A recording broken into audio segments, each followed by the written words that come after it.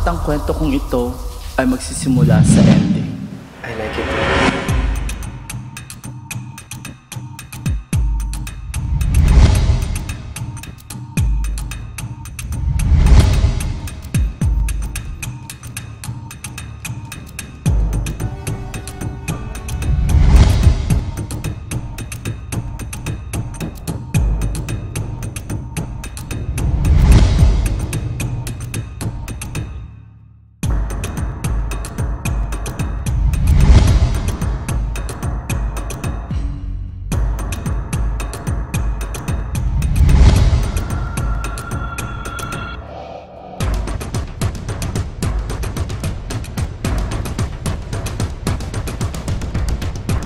May bibigay nga pala ako sa'yo.